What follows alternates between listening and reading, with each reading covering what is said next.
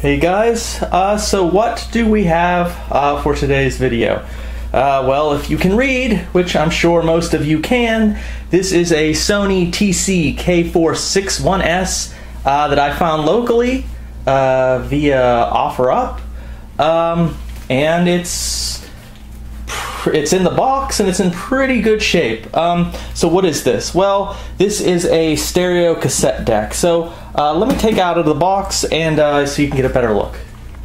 All right, here we go. Now I hope my lighting uh, isn't too bad so that you can see this. But yeah, this is a cassette deck. Now, I've never been someone that would be considered like an audiophile. That was usually pretty low on my list of priorities. Um, like for computer games, of course, I loved looking at the different audio cards and getting the best ones and the MIDI modules for games and stuff like that. But uh, as far as music listening, which I uh, I don't listen to as much music as I used to, but yeah, I was real big into um, music, and I still do listen to music. I, have never really been an audiophile. I never went for the high end stuff. It was just a tape was a tape, a CD was a CD, and you know, streaming music off YouTube or MP3s or whatever. It was just what it is. Um, but lately, thanks to videos uh, with some retro audio tech, uh, mostly from uh, VW Westlife and Technomone and stuff, I've really been getting more into this facet of retro technology, and uh, I really love it because it's just something new to learn.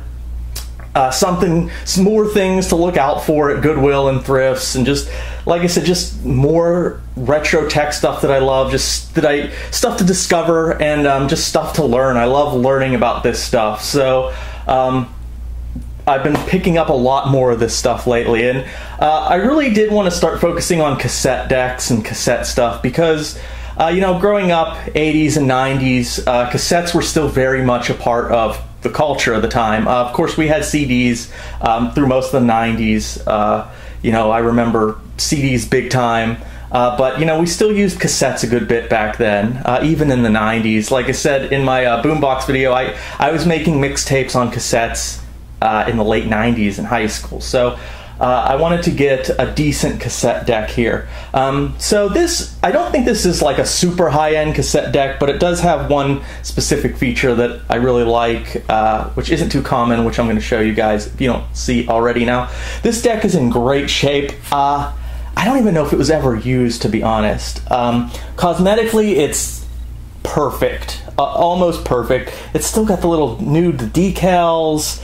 Um, it just I didn't even see there's some like prints on it, but that's from me.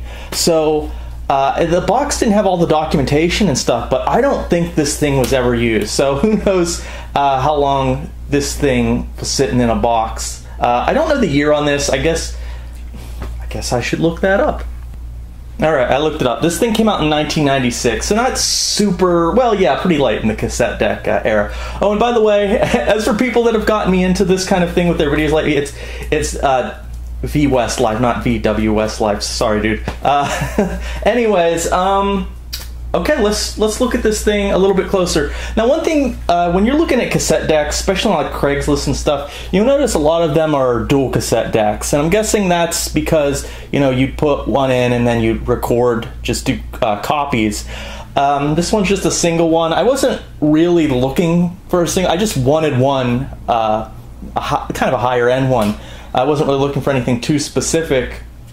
But uh, I don't know who it was, but I do remember a YouTube kind of mentioning offhand that the single decks tend to be better than the double decks. Now, now I can't confirm that. I, I, don't know where he got the information. I haven't seen that anywhere except from what he said.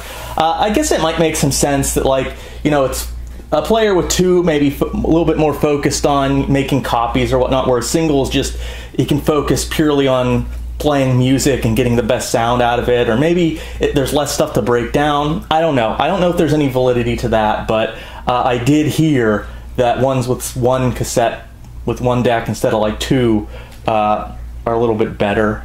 So uh, let's take a look at this thing. It's not, it's nice metal. Um, it's not like super thick here, but it's it's still nice. I think this is plastic. Uh, I know some of the real high end stuff is like all aluminum. Um, I do believe this is plastic, but this is metal right there. So um, let's take a look at this thing, closer look. All right, so again, I hope the lighting is working. I apologize if it doesn't look uh, perfect here. Now here's the main thing I wanted uh, this for, Dolby S. Now, Dolby S is a form of noise reduction, which gets rid of, you know, hisses and background noise in your cassette tapes. And um, S is the best one. Uh, it, it uh, properly recorded with a with the proper cassette, uh, higher end cassette, and uh, using Dolby S, you can get uh, about as good as a CD would sound. So with the right equipment and the right recording method and whatnot. Unfortunately, there isn't like a studio production or cassettes you go out to the store and buy that were done in Dolby S. Uh, as far as I know, most of those are in Dolby B, uh, which is decent. I believe the original one was just called Dolby Noise Reduction, then there's BC, and then finally S. But um, as far as like commercial uh, music that you'd go to the store and buy on cassette, like albums and stuff, I believe most of those were done in Dolby B. I don't believe any were ever put out in C or S. I'm almost sure none were ever put out in S. So uh, it's mostly for, you know, like personal recordings. If you're recording uh, from a CD or an MP3 to cassette or something like that, or, or from a from cassette to cassette or whatever. But Dolby S uh, is the best one, and you can get some really good sounding uh, music on cassettes using Dolby S.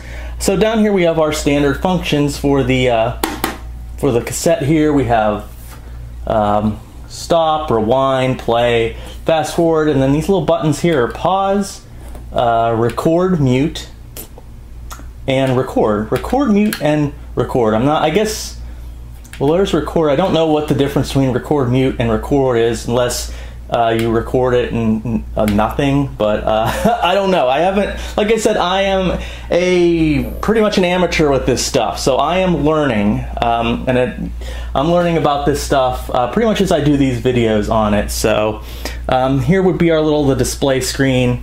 And then we have a counter here, we have reset and memory. Um, so I think that'd be the counter, like where you are in the cassette. So we move over here, and here's where you put the cassette itself in. And a little bit over some more. Here's our eject button. It's a nice separate eject button. Nice smooth action. So I know that's a thing. There's like you can tell the quality of the player by how slowly the door opens. That's that's not bad. Nice smooth action there. Um, right here we have MPX filter on and off. It's just a push button. Uh, do not know what MPX filter is. And then here's our Dolby noise reduction. So this is where you would choose your uh, noise reduction that you'd want to use. So the thing is, you want to match up uh, the cassette with whatever noise reduction was used. So it's not like if you record something in Dolby S and you put it in a player that only works with Dolby B noise reduction, it's not going to sound like Dolby S. You want to match them up. So if you have like for instance, I have a cassette player in my car, and um, it's uh, Dolby Noise Reduction B. If I record something on S and then play it in there, it will still sound okay, but it might sound a little bit weird. Uh, I've heard they sound kind of tinny when you do that. So you'd want to record it B and then play it in a B player or a player that you can set to B, as far as I understand. But I like how this is a, a mechanical switch. It just, it's awesome. There's, there's off, and then we have B, C, and S. So I really like, you can hear it. I, I, love stuff like that. I love the switches and the, with, you know, the mechanical sound and um, I love the flashing lights and stuff like that. Uh, so um, let's look over here a little bit more. Okay, so here we have auto calibration. Again, not 100% sure what that is. I suppose this would calibrate your uh, cassette. Um, Here's the record level. Maybe that's something for the sound, the noise when you're recording it. Um, balance, headphone jack, and uh, down here it says Dolby BCS noise reduction. It also does HX Pro. Again, I, am not sure what HX Pro is. Uh, I believe from what I was reading, it's something if like you're recording off the radio, it gets rid of more different kind of background noise. So. Apparently I was completely wrong about what HX Pro is. Um, it's not noise reduction, it does not use compression or expansion, it's a technique uh, blah, developed by Dolby Labs to increase tape headroom by decreasing the bias when recording signals with large high frequency components. I have no idea what any of that means, but um, that's, that's what it is apparently. Um, and Dolby HX tapes can be played back on any system with no decrease in quality. So uh, that's what that is, I guess. So that's also something uh, nice to have. So let's take a look at the back really quick. Not too much to this thing. Uh, again, it's really nice. I don't think this thing was ever used. Um, not much on the back. Uh, we just have line in and out uh, stereo RCA, and then the power cord is attached. So I'm going to uh, plug this thing in, and well, you'll see. All right, so we have her plugged in now, and I'm gonna hit the power button, and it makes a pretty horrible noise, and you can see the display has lit up here. Um, now the reason, now I have opened this prior, um, so I do know, uh, at least I have a really good idea of what's wrong. And what's wrong is a very common problem and the belts have deteriorated.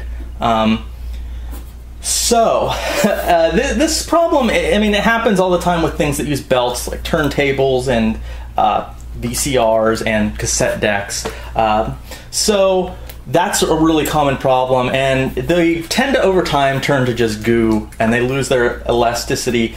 Um, this problem is kind of exasperated in areas like arizona here where the heat i don't think helps that process. So even if this was never used and it stayed in that box if someone stored it in you know like a shed outside that wasn't climate controlled and it's just it gets like an oven in there every day for god knows how long years maybe since 96 um, yeah, so the, the belts inside it have turned to complete mush and goo. Um, now, actually, just today, uh, from Slovakia, don't ask me why I had to get it from so far away, um, I did get some replacement belts. Now, there's a large one and a little one. Uh, now, here's the thing. I've never repaired one of these before. I I know virtually nothing about the, you know I don't I'm not even I'm still learning about the consumer level stuff, let alone opening this and repairing it. Um, I've watched some videos and stuff, so I don't think it's too hard. It's just, it's basically just finding where that belt goes and putting it on. Um, so it's not rocket science. It's not rocket surgery here. Um, so I am going to give it a go, um, but I am not really confident. Um, I have no clue. If, if, it was still on and it was just like the elasticity was gone, at least I could see where the belt was and I could just take it off and put the new one on. But it's it's completely melted away, so I'm not even sure where the belt goes. Um, now I know there's uh, you know like cogs and rollers, so it, it should be kind of obvious. Um, at least for the big one, I don't have a clue where that little belt goes. Um, but I'm fairly certain that is the problem. Hopefully, there's no little cogs or anything that are snapped or broke. Um, that would be another level of uh, a problem. But considering the good shape this is in, uh, it's probably just those belts. So I am going to make a really amateur attempt at replacing the belts and hoping that fixes the problem. So thankfully I did find a service manual online that sort of tells me how to put the bands on, um, but it, it still doesn't instill me with a great amount of confidence. Okay, so here we have the player uh, with the uh, top case off. Now, you only need to unscrew, there's four screws um, that you have to unscrew to lift it off. Now there are some screws here on the back and uh, I originally had some trouble lifting the case off but it, it has nothing to do with these screws um, on the back here. These just kind of connect the board and stuff. You just uh, need to do the four on the side but it is a little bit tricky. You have to kind of like pull it back and up a little bit. Uh, it took me a little bit of effort. Um, so here's the inside and uh, it's it's beautiful inside. There's no dust. Again, I don't really think this thing was ever used. There's just there's just no dust or anything. Uh, no, no, nothing really. Um, so pretty simple inside here. Not a whole lot. Uh, this looks like a little ground thing that was here. Um, so here's the main board. Uh, the caps all kind of look okay. I believe that's the power. Um, what we really need to focus on is this thing. And I believe it's somewhere back in there, those two belts need to go. Um, it looks really simple, uh, but I have no idea what I'm doing here. So I'm guessing I have to undo these screws. There's another one down there. another one there on the other side. So there's four screws. Um, and I probably need to pull this whole thing back. I think. Um, I'm not sure if I need to. I don't know. I guess I'll just dive into it and see what happens. Alright, so I'm just looking at You can see part of the belt that like melted and fell off uh, right there. And man, this thing never focuses when I need it to. Um, and then you can, I can still see up here. Oh, yeah, so right down there, there's some of the belt that kind of like melted and fell apart and fell off uh, right there. And then up there, I can still see some belt uh, right there. Um, I don't know if that's all the same belt or that's that one is that's the little one and that's the big one that's disintegrated. So uh, helps give me a kind of a rough idea here. So I think these black like knobs that aren't doing anything. I think I put the belt around like there's probably something on the other side I put it around and then I bring it over and I put it on those. And then when I put this thing back on it, I push it up and I pop it onto that little plastic thing there, uh, I'm thinking. So, like I said, I guess I'm not really going to know until I actually take the thing apart and try. So, uh, let me see if I can get this. Yeah, it's here. There's the belt. It's just, it's, like putty uh, at this point. It's just completely uh, not a belt anymore. So. Alright, now I think I can see the smaller one right there. And it looks okay so far, but I'm glad I can see it here because I was really worried because I didn't know where it went. Um, so, uh, but I can replace. I can probably replace it now that I can actually visibly see where it goes. So that one down there must all be the uh, the bigger uh, belt. So I disconnected this and that little power doggle down there, and I took out some screws. I'm just not quite sure how to lift this out. Um, I don't know. It looks like it's connected right here. These two black things, and then it's connected with these little plastic tabs, um, which is annoying. So I don't know. I guess I'll just have to wiggle it around and see what happens. Alright, so after looking at it a bit more, I decided to disconnect everything because um, I think I'm going to have to take this faceplate off. I believe there's like two screws underneath I have to unscrew and just take this whole front off. And that will give me, you know, that will make me be able to access the screws and um, I just think I have to do that anyway. So I'll give that a try. Hopefully all this taken apart and messing around I don't break anything. So uh, I guess we'll just see how it goes. Alright, so yeah, here's the front panel uh, broken away from the rest of it. It was actually uh, five screws uh, on the underside. Just kind of be careful wiggling it and pulling it away if you're doing this too, because there's some uh, semi-delicate parts that you know you could snap. Um, don't forget to disconnect this guy right here. Um, so now I guess it's just unscrewing these screws here, and I think I just I think this is in like two parts, and I think I only have to remove this top part should come off, and then I can have I'll have access to where the belts are. And then theoretically, I just figure out where the belts go, swap them, and then put everything back together. I hope. I hope there's no more disassembly. Um, so uh, we'll see. All right, so here it is in two pieces. Now I assume this is as far as I need to go with this assembly because I can tell where some of the I think that little little smaller belt uh, also melted away. It was when I pulled everything away, it just broke and like melted, and um, so you can see like remnants of it there um, remnants of here and here. It, it's pretty gross. Um, now, all that black residue, I'm, I'm pretty sure that's just grease, um, so I don't think, I, it's probably not my best interest to wipe that off, but it's hard to tell what's grease and what is melted, gooey belt. Um, so now it's just figuring out how the belts attach. Um, now it looks like one maybe attaches to this and then over to here and then maybe the smaller one attaches to this and then something else. That, that's going to be the tricky part for me. Um, just figuring out what little sprockets these belts attach to. Um, and then putting it back together shouldn't be any problem at all. But uh, I guess now my challenge is just figuring out where the belts go. So uh, I'm gonna poke around and see if I can figure out anything. Yeah, it, it, it completely melted onto this thing right here uh, to the point that I'm almost wondering if it's grease or not, but it can't be grease because that's definitely where the belt goes. But it's I'm trying to use like rubbing alcohol and um, Q-tips, but it's like really melted on there into like disgusting meltedness. um, other than that, I'm really still not sure where the belts go. Um, I think one goes here, and then there's another spot here where it should go.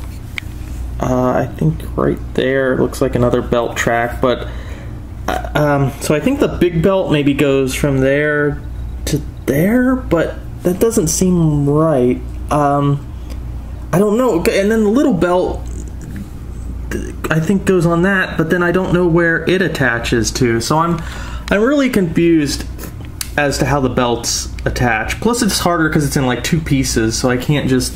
And then I know what these little progs are for is like you attach the belt and then you put them on this, and then I think when you reattach the two pieces, you can slide in a screwdriver and like slip it up onto the the things I don't know. I got to examine the um, service manual a little bit more. Uh, like I said, I, I, haven't ever done this before, so I'm I am really out of my element here with uh, with this. But I'll I'm gonna keep trying to clean this up, and then I'm gonna just mess around with the belts, and uh, hopefully I can eventually figure it out. All right. So I think I have the the basics here. Um, I think this one, this the the square belt goes around here, and then when I reconnect it, it's gonna connect around there. Although I, am not sure how to pull that off uh, once they go back together. I don't know if I put it on this first and then reattach it and then slide it onto that, or the other way around. Um, this one I think is pretty straightforward. It goes on this big old thingamabob. And then it goes down and attaches to these there's these three spokes sticking out. And then I think once I reattach the top um, I poke a screwdriver and I just push it up and slide it onto this which I've cleaned the best I can though. It seems when that goo gets on this plastic here it just it doesn't come off. It's not it's not sticky anymore but it discolored it. Um, so I think I got the, the big belt uh, okay, but it's just I'm worried about putting on this little one. It was a little bit tricky getting it down in there and on the, the track. Uh, so we'll, we'll just see how it goes. So I noticed another one of those little spokes here. Uh, so I'm gonna actually try it the other way. I took this the square belt off and I put it on this little one and hooked it on that. Uh, just kind of like the big one is said to hook on these three. So maybe when I put on the top, I'll have to just do the same thing with that and they'll just pop on to whatever they're supposed to, and uh, it will be ready to go. Hopefully. We'll see. So at this point, you might be thinking, hey, what's going on? You were just putting the thing together, and now it's sitting here all put back together. Well, I made a big mistake. I, uh, my brain during the video somehow entered opposite land, and for the last half of the video, uh, when I was thought I was recording, I actually wasn't, and when I thought I wasn't recording, I was recording. So all of the footage I did for the end of this video is useless. Um, and it's really a shame too because I did figure out uh, where we when I last last the video when I where we last left the video of me trying to fix the belts. I was actually I was right with the big one, but I was wrong with the little one. And I figured it out, and I got good footage of that, and I was able to pop the belts onto the other little spinning things with a little screwdriver, and I got good footage of that, and it's all gone because I wasn't actually recording, because I guess my brain entered opposite land, and I wasn't paying attention. So all that footage is nothing. It's just like footage of the floor and uh, the wall and stuff. So so you can't see me finishing up the belt repair, but let me tell you, I did figure it out. I did figure out the orientation, and I did put everything together. Now, obviously, I know right now if this thing is going to work or not, but for the sake of the video, let's pretend that uh, I don't know. So I've put I put it all back together. I've reconnected everything, and I did replace the belts as best as I I, I mean, it looks like they uh, work. So, Um, I have this thing hooked up in the back. It's going out and it's going into my PC speakers. One, because it's really easy for me to do, and two, I don't really have a proper uh, sound system, hi-fi system set up. Um, I'm working on it, uh, but sound was always kind of a low priority for me. Um, so uh, I just have this hooked up to my PC speakers. So hit the power. Now, as you hear, there isn't that horrible, weird grinding sound there was before I did the belt replacement. So, um, I don't want to get hit with a with a copyright thing, um, but all I have, I you know, I don't have any like non-copyright material stuff. So, what we're gonna do, we're gonna test. This is Nine Inch Nails. This is the Broken album, and I'm just gonna play it really quick just to show you guys if it works or not. Now, this was recorded in Dolby Noise Reduction B, um, like most uh, production, you know, I guess cassettes you could buy at the store. So we want to set our player to B, and uh, let's see if it plays.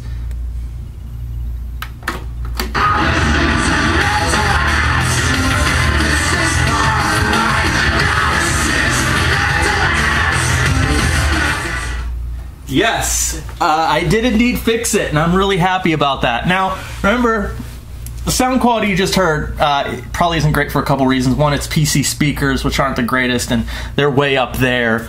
Um, also, I, I, probably should clean the heads, uh, maybe demagnetize them, although, like I said, I don't think this thing has seen a lot of use. Um, I love these little light bar thingies that go up and down.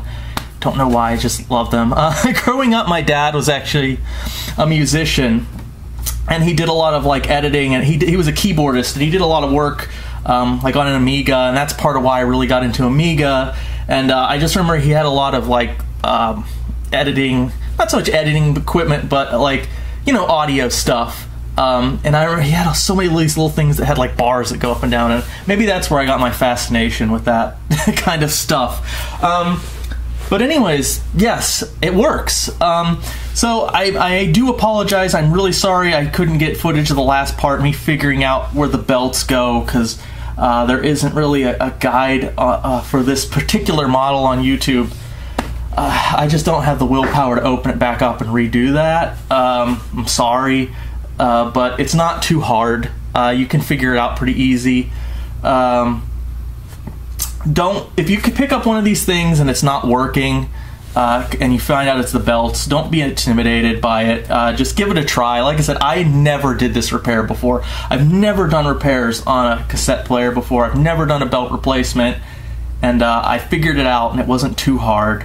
Um, it does help if you can find a service manual online and most of them seem to be online with a little checking. It took me a little bit to find one for this player. A lot of them are behind paywalls, but um, if you keep looking, you can usually find the manual for free. Uh, but yeah, I'm really happy that this is working now. Um, so yeah, again, sorry I, I screwed up the last bit of the video and you didn't get to see that footage of me finally figuring it out, but I think I got the gist of repairing one of these. So yeah, if you find one that doesn't work, don't be intimidated, give it a try. Again, thank you guys for watching. Um, as for this, the Dolby S, uh, I, I, don't want to go too much into it because I don't know how much more I can add to it. Uh, Technomone, I believe that's how you pronounce it, he already did a really great video on Dolby S, and um, I will leave, have a link to that video in the description below, so I encourage you to watch it after this one to learn more about Dolby S and hear some of the direct recordings he did with it. It sounds uh, really nice, almost CD quality. So, uh, yeah, I mean, I don't know. I might be doing more of these uh, audio equipment videos in the future as I put together kind of a retro-ish hi-fi system. Uh, so yeah, again, I thank you all for watching. Uh, subscribe if you love this stuff. I appreciate your subscriptions. I appreciate you guys viewing. And uh, again, I learned something new. Hope you guys did too. So I'll see you in the next video.